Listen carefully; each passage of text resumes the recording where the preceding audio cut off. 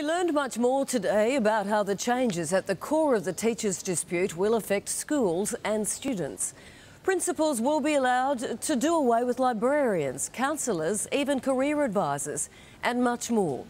10's John Hill is leading the charge on this story, and tonight again he has more exclusive details. The government says Loftus Public School in Sydney South is a good example of how its education reforms will work.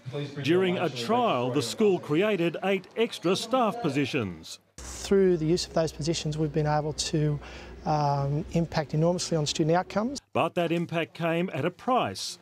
Loftus has had to trade in teacher librarian in order to get some extra staff. The library is now run by a clerical assistant school autonomy will probably destroy public education. It's not only teacher librarians whose jobs are at risk. The Education Minister has confirmed that under the local decisions policy, he'll allow school principals to trade off school counsellors, careers advisors, and reading recovery teachers.